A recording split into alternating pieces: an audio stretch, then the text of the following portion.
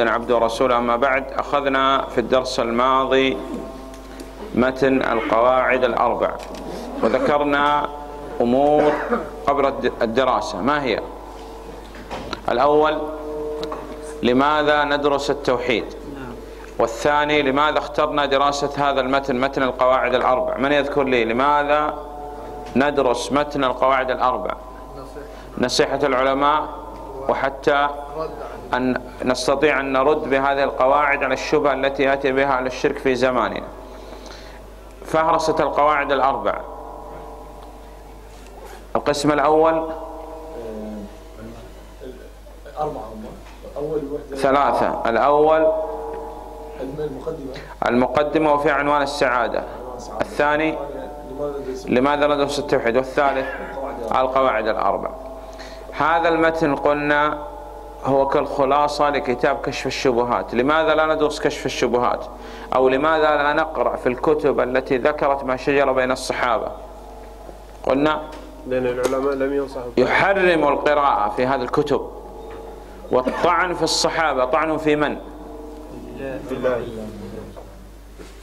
الله في الله والدين. ودين الله. والرسول. ورسول الله عليه الصلاة والسلام. وطعن في الصحابة. بعد هذا عنوان السعادة أو من هم أولياء الله مع الدليل. نعم. على أن أولياء الله لا خوف عليهم. ولا هم يحزنون. الذين آمنوا كانوا يتقون. جمعوا بين الإيمان والتقوى. لهذا قال الشيخ الإسلام ابن تيمية رحمه الله تعالى من كان مؤمنا تقيا كان لله وليا. بعده. عنوان السعادة ما هي؟ أشياء ثلاثة.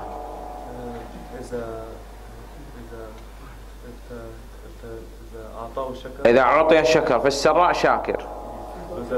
وإذا ابتلي الصبر في الضراء صابر.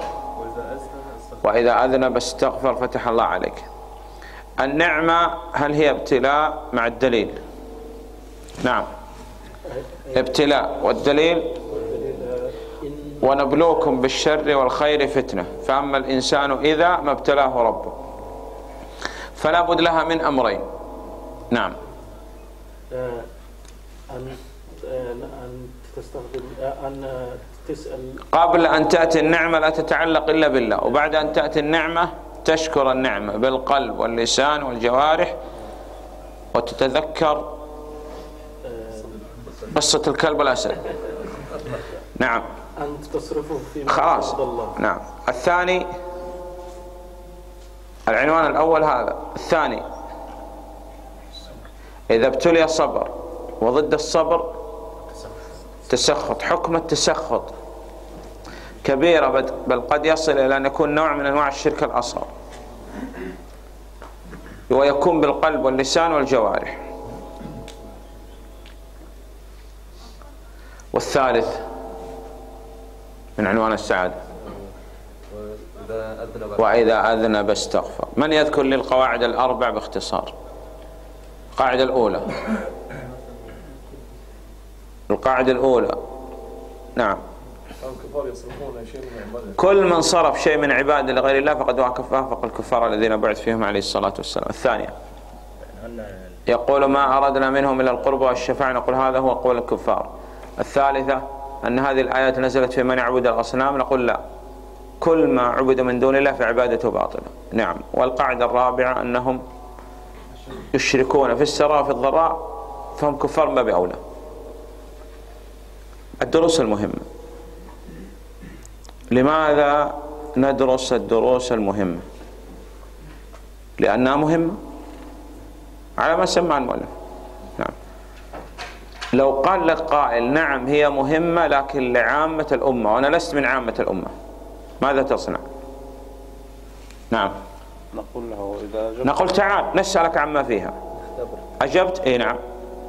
فأنت أعلى من عامة الأمة. وإن لم تجب فلا تصلح أن تكون حتى من العوام. نعم. أفضل منك. شوف اذهب إلى سوق الخضار أو كذا. بعد هذا. أقسام هذا الكتاب ماذا فيه؟ قلنا كيف نحفظ القرآن والتوحيد والصلاة والطهارة من الوضوء والاغتسال والتيمم وتجهيز الميت وكذلك الآداب والأخلاق الإسلامية. كيف نحفظ القرآن؟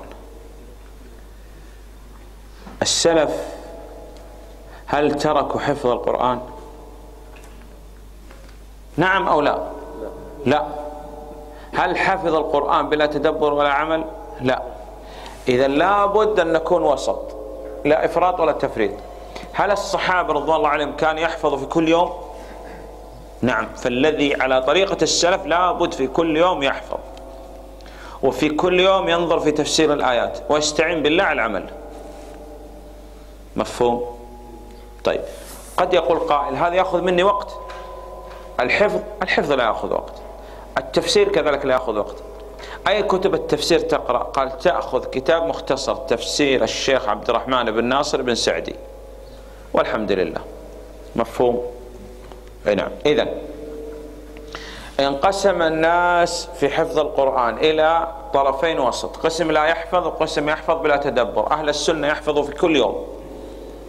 يعني كل يوم عندما تدخل إلى المسجد تبدأ بالحفظ. وتنظر في تفسير الشيخ عبد الرحمن بن ناصر بن سعدي. وتستعين بالله على العمل. ستة أشهر بإذن الله تختم القرآن. لأنه تزيد العشر آيات بعد فترة وتصبح مثلا عشرين أو كذا. بإذن الله ستة أشهر. لكن لا تترك الحفظ ولا يوم من الأيام. طيب. نعم. بعد هذا ما يتعلق بالتوحيد أخذنا بالأمس. نريد أن نذكر ما يتعلق بالصلاة. من يذكر لي شروط الصلاة؟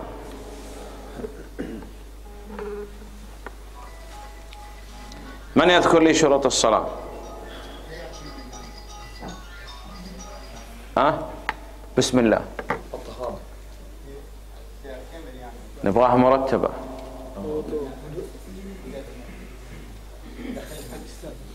الإسلام وضده الكفر. وهذا أهم ما يكون من الشروط لأنه يوجد في كل عبادة. لأنه قد يصلي وهو مشرك شرك أكبر فصلاته باطلة.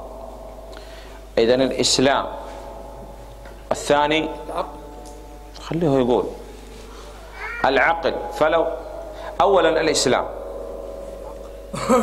فلو صلى الكافر صلاته باطلة.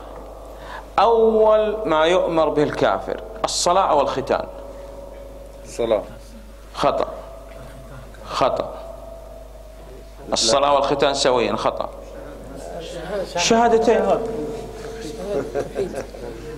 أصلا لا تخاطب لا بالصلاة ولا بغيره. وبعض الكفار ما الذي يمنع من الدخول في الإسلام؟ الختان. قال تقول له من قال لك تختتن؟ من قال لك؟ أنت الآن نريد منك الإسلام فقط. حتى لم تختتن أنت مسلم ما تخرج من الإسلام صح؟ أي نعم.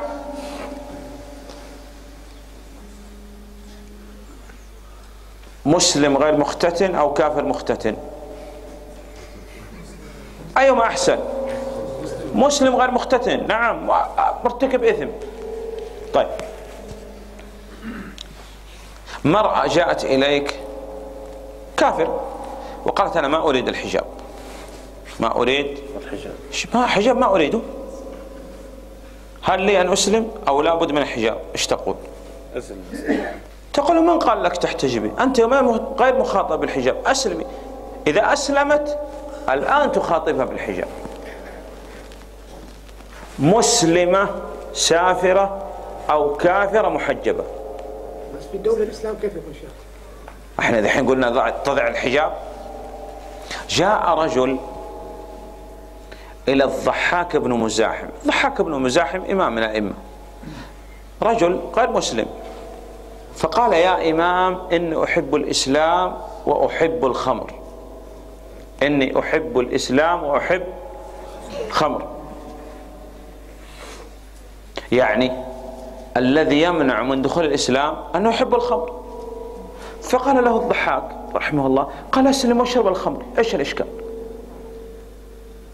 لو واحد منا قال لا تسلم ولا غيره امشي.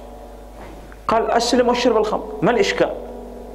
قال أشهد أن لا إله إلا الله وأن محمدا عبده ورسوله. قال أنت الآن مسلم.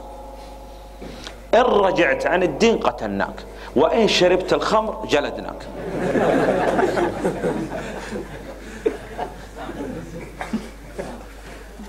هذا الفقه هذا صح؟ إيه نعم. الناس بالحزم يؤخذوا. الآن البارحة قلنا الصلاة لابد أن تشدد عليه حتى يصلي. أما تقول له لا تصلي وأنت داخل الجنة وما عندك مشكلة ما يصح. تخوفه لا تكفره خوفه قل ترى قد لا يصلى عليك وتصنع كذا وتصنع كذا وتصنع كذا. لا لا تبت إلى الله. هذا قلنا ما انتهى الأمر. نعم طيب. إذا الدعوة إلى الله تحتاج إلى فقه. إيه نعم فقه الدعوة. قلنا الكفار ما تقول له عندكم يقول عندكم. وتبدأ طيلة الحياة مناظرات. لا تقول لا لا لا ادخل في الإسلام بس. إيه نعم. طيب. الإسلام وضد الكفر. العقل وضد الجنون. صل لو صلى المجنون. لو صلى المجنون. يا أخي صحيحة باطلة. خلاص الحمد لله. نعم. لو صلى السكران. سبحان الله باطلة؟ سكران مو مجنون. حول ولا. يا أخي سكران. هو قال هنا كيف؟ أوقف. سكران مو مجنون؟ المجنون أحسن من السكران. والله لأنه بغير اختياري. هذا باختياري. هذا أشد من الجنون هذا. حضارة يسكر أعوذ بالله. الحمد لله العافية. طيب. المجنون والسكران من باب أولى. نعم. صلاته باطلة. نعم يا أخي. التمييز. التمييز انتبه. هو التفريق بين الأشياء. التمييز هو. مو البلوغ.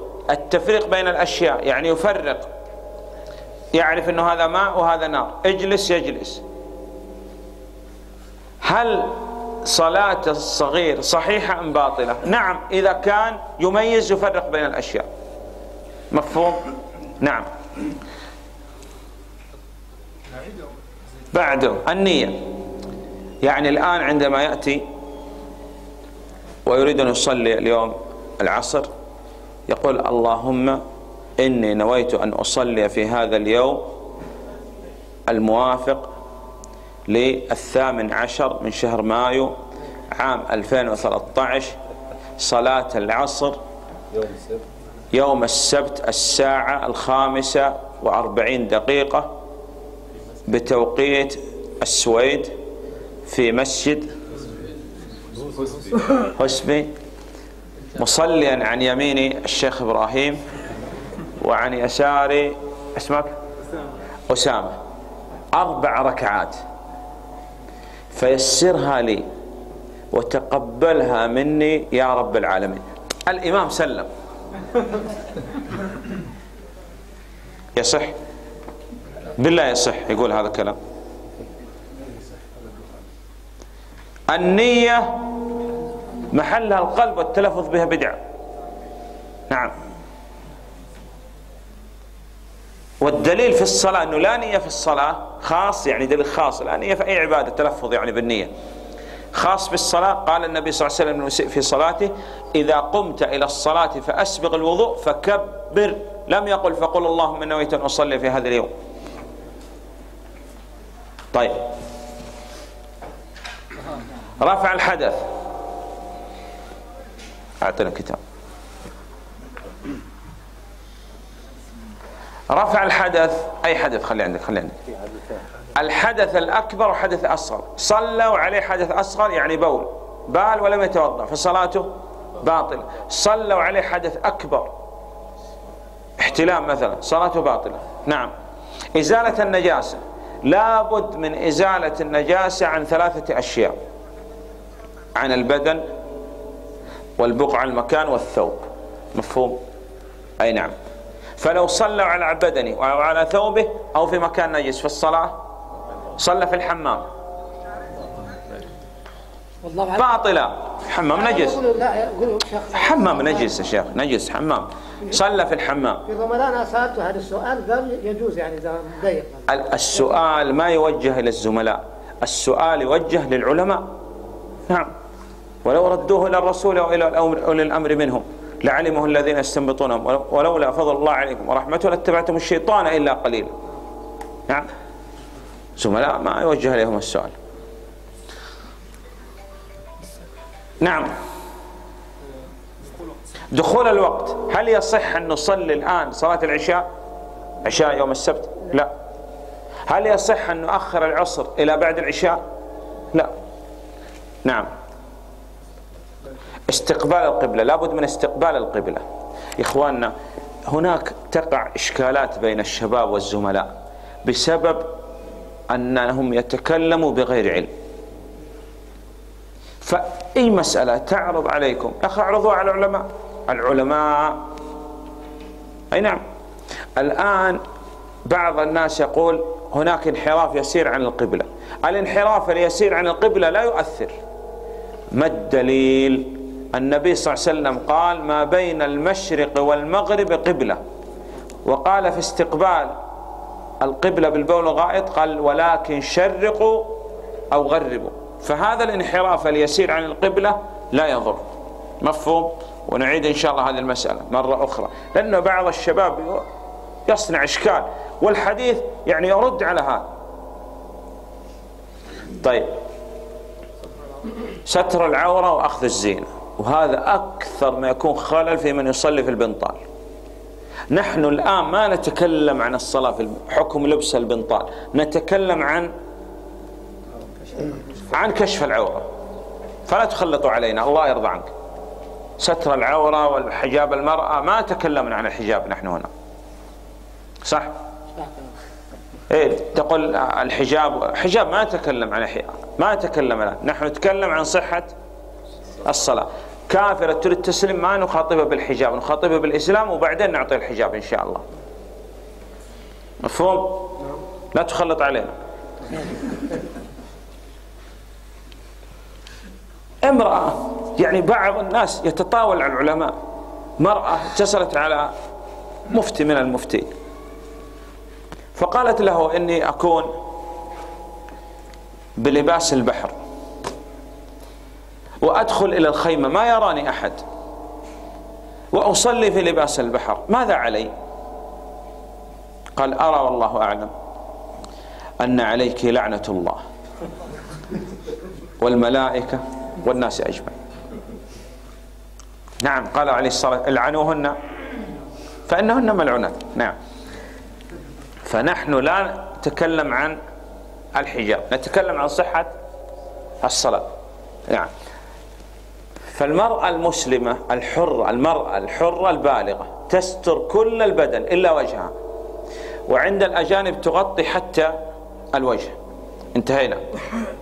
عندنا الذكر ابن سبع سنين إلى عشر سنين يستر القبل الدبل. فرجان والصلاة الصحيحة. غير المغلظة المخففة عورة متوسطة. يستر من السرة إلى الركبة مع استحباب ستر العاتقين وأخذ كامل الزينة في الصلاة.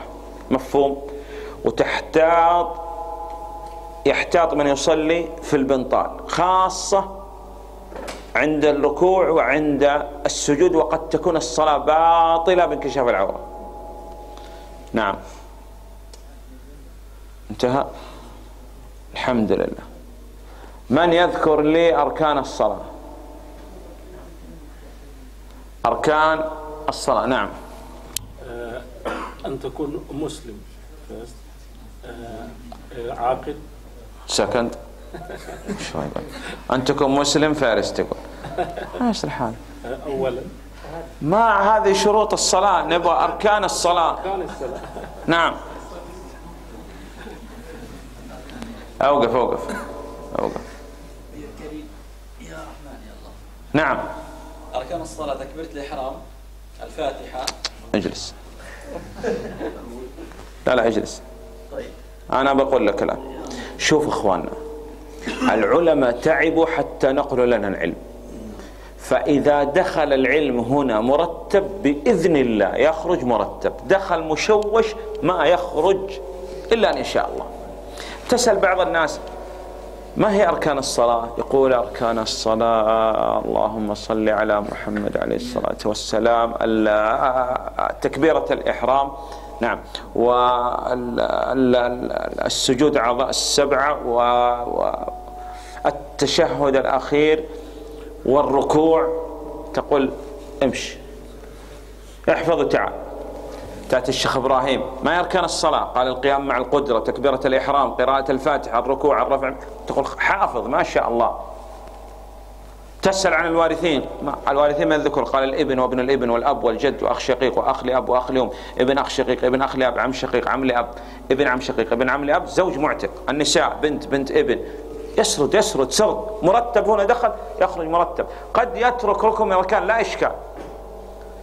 فأول ما تبدأ به في الأركان إيش تقول؟ القيام مع القدرة مو تكبيرة الإحرام. فهمتم يا إخواننا حتى تحفظ. العلم يحفظ بهذه الطريقة. مفهوم؟ فارست. القيام مع القدرة. لابد من القيام مع القدرة في الفريضة. أما النافلة صح أن يصلي جالس ويأخذ نصف أجر القائم. لكن الفريضة لابد من القيام. إذا كان قادر. وعاجز عن القيام بالكلية ما يستطيع هذا يصلي جالس. يقدر على القيام لكن يأتي ألم شديد حتى لا يخشع في صلاته فهذا يجلس. القيام مع القدرة نعم. القيام مع القدرة التكبيرة. تكبيرة الإحرام. في الفريضة أو في النافلة؟ تكبيرة الإحرام إيه. في الاثنين في الفريضة وفي النافلة. سلام سلام النافلة هي نافلة أم لا؟ هو لو يترك نافلة كاملة لا شيء عليه صح؟ قال أنا أصلي النافلة دون أن أكبر تكبيرة الإحرام. يا أخي لو ما لو لم يصلي كل الصلاة النافلة لا شيء عليه. إذا قال أنا ما أكبر تكبيرة الإحرام في النافلة لأني أتركها كاملة لا إشكال يصح؟ نقول ما يصح. إما أن تأتي بالصلاة كاملة أو لا تصلي يا أخي. تتلاعب في دين الله. تكبيرة الإحرام في الفريضة وفي النافلة. نعم في الفريضة وفي النافلة. طيب سؤال ثاني. دخل هذا الشيخ إلى المسجد والإمام راكع. الإمام راكع فقال الله أكبر وركع. أدرك مع الإمام الركوع. هل صلاته صحيحة أم باطلة؟ تجيب أنت ما حتكلم. آه، الصلاة باطلة. خطأ. صحيحة خطأ. نعم. ب- خطأ. في تفريق. في تفصيل. نعم هات التفصيل. تكبيرة الإحرام آه، إن نوى بهذه التكبيرة تكبيرة الإحرام فالصلاة صحيحة. وإن نوى تكبيرة الركوع فالصلاة باطل أصلا لم يدخل في الصلاة. وإن كبر تكبيرة الإحرام تكبيرة الركوع هذا أحسن. بعده. يعني ما أسمع. قلنا ال- الوقوف مع القدرة والتكبير يا أخي القيام مع القدرة. القيام طيب. قراءة الفاتحة. قراءة الفاتحة. أوقف. لا مو أنت مو أنت. نعم. القيام مع القدرة ذكر وتكبيرة الإحرام قراءة الفاتحة. في الفريضة أو في النافلة؟ يا أخي النافلة لو لم يصلي النافلة لا شيء عليه. نقول لابد أن تقرأ. في الأولى أو في الثانية؟ في كل ركعة. في الحضر أو في السفر؟ في الحضر وفي السفر. في الحضر وفي السفر. في السرية أو في الجهرية؟ في السرية والجهرية. لا بد أن يقرأ الفاتحة. كاملة. كم ركعة يقرأ كم آية يقرأ من الفاتحة؟ كلها كاملة. لابد مرتبة مرتبة. بآياتها وكلماتها وحروفها وحركاتها. لابد ولا يترك منها شيء. لو ترك منها شيء صلاته باطلة. إذا يا أخواننا أهم سورة تصحح القراءة بها سورة فاتحة. الله يفتح علينا وعليكم. طيب نعم بعده.